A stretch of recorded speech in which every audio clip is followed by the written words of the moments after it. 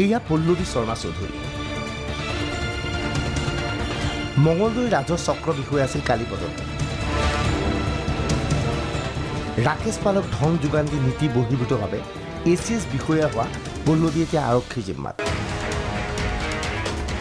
এয়া চাবিৰা ইমৰাম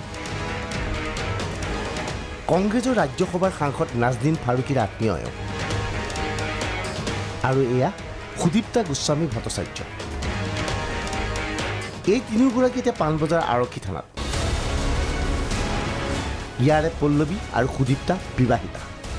পল্লৱীৰ স্বামী সুৰজিৎ চৌধুৰী এগৰাকী আগশাৰীৰ বিল্ডাৰ।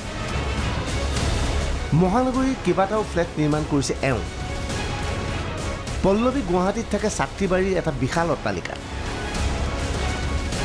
ঘৰৰ ভিতৰতে আছে লিফ্ট।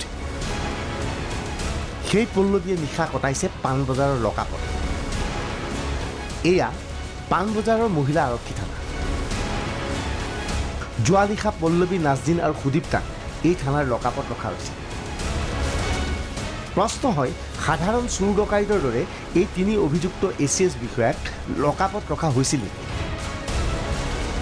তিনিওকে ৰখা হৈছিল মহিলাৰ বিশেষ লকাপত।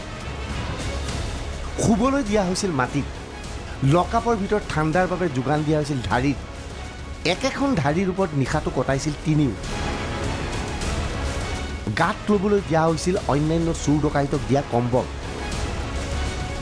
পল্লৱী নাজদিন আৰু সুদীপ্তা আদ্যবন্ত পৰিয়ালৰ। টকা পইচা দেখি আহিছে সৰুৰে পৰা।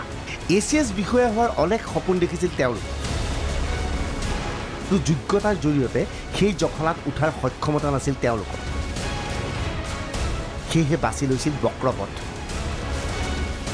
পল্লৱীক এ চি এছ বিষয়ে পাতিছিল তেওঁৰ স্বামী সুৰজিৎ চৌধুৰীয়ে। সুদীপ্তা এ চি এছ হৈছিল পিতৃ পৰিয়ালৰ সহযোগত। এ চি এছৰ আসনত বহি হয়তো তেওঁলোকে কল্পনা কৰা নাছিল যে এদিন নিশা কটাব লাগিব লকআপ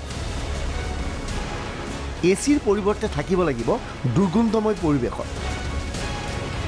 চোৰ ডকাইতক দিয়া কম্বলৰে শীতৰ সৈতে যুঁজিব লাগিব তেওঁলোকে।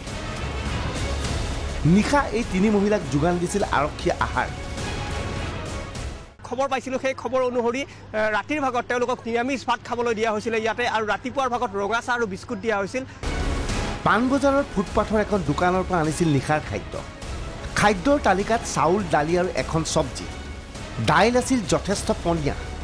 যোগান দিয়া হোৱা নাছিল মিনাৰেল ৱাটাৰ পেটৰ ভোকত এই তিনিও আটক এ চি এছ বিষয়াই গ্ৰহণ কৰিছিল এই খাদ্য।